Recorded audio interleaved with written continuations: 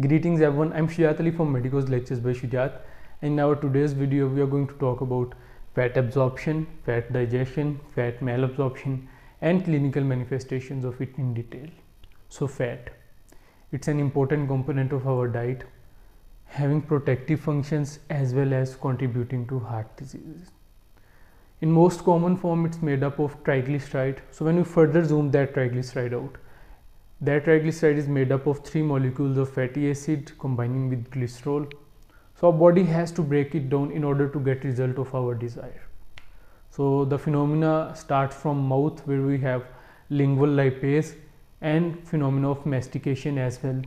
So when we further descend down in GI tract, in stomach we have gastric lipase which basically decrease down the pH and increase the acidity. So that's basically greeted by stomach gastric lipase. It's still in form of triglyceride and it enters in duodenum. And what happened in duodenum? We have two hormone secretions from the name cholecystokinin and secretin. So what they do is cholecystokinin basically plays its role in bile production as well as in secretion of pancreatic enzyme. Here pancreas and bile gallbladder basically they also indulge themselves in activity of digestion of this fat so secretin, secretin plays its role in bicarbonate secretion as well as it involves pancreatic intraluminal secretions as well. So we have bile involvement here. So what happens? Fat droplets or you can say triglyceride basically combined with bile salt and pancreatic lipase also play their role so we form a structure which we named as micelle. that micelle it contain basically a mono form of glycerides as well as fatty acids cholesterols as well. So what happens here? There is a very important point to understand regarding the circulations.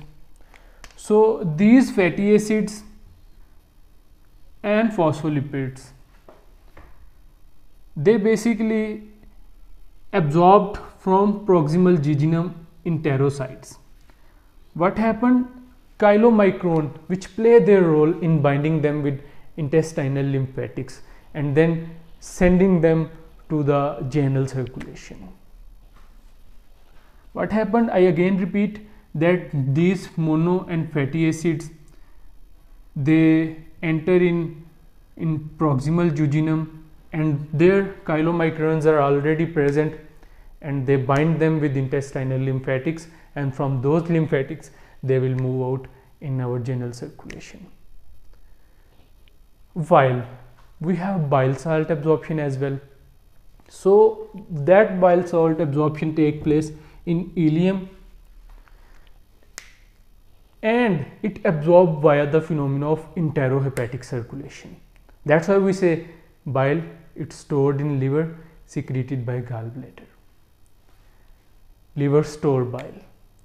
So that's due to that enterohepatic circulation. A quick overview, I again repeat, from mouth mastication and lingual lipase, from stomach we have gastric lipase, pH decrease, acidity increase and from duodenum we have still triglyceride form, cholecystokinin, secretin phenomena involved and after that when we further uh, discuss it down glyceride, triglyceride combined with bile salts so those fatty acids they combine with chylomicron and absorb via general circulation from intestinal lymphatics while bile it absorb via enterohepatic circulation from liver. So that's how the phenomena again and again take place. So when you talk about the clinical manifestation, so person having fat malabsorption definitely is going to be pale because ADEK deficiency. ADEK they require fat a, D, E and K vitamin they require fat for their absorption while C and B they didn't require they have water soluble vitamin. So we have ADEK deficiency, person is having pale diarrhea without floatants. What happened due to ADEK deficiency? Due to vitamin A deficiency, night blindness will be there. Due to D deficiency, osteomalacia, rickets and bone disorders. Due to vitamin E deficiency, neuromuscular disorders. Due to vitamin K deficiency, we have a tendency of bleeding increases.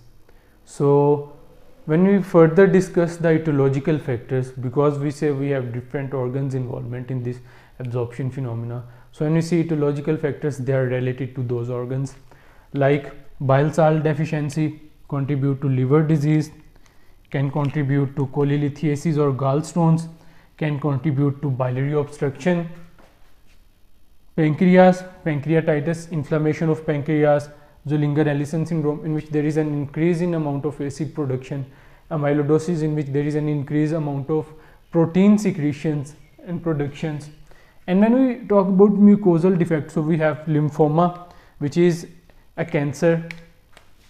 Celiac disease, celiac disease is basically due to gluten diet. It is an autoimmune disease and immune system attack on when person intake gluten.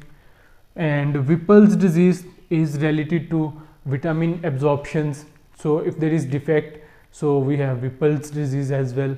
So that's all uh, guys from our today's topic of fat malabsorption. And if you have any query you guys are more than welcome. I will be there for you guys. In end i just request you that if you are new to channel then don't forget to subscribe medicos lectures by Shujaat. thank you so much guys. And in the next video we are going to talk about obesity and its forms so stay tuned. Thank you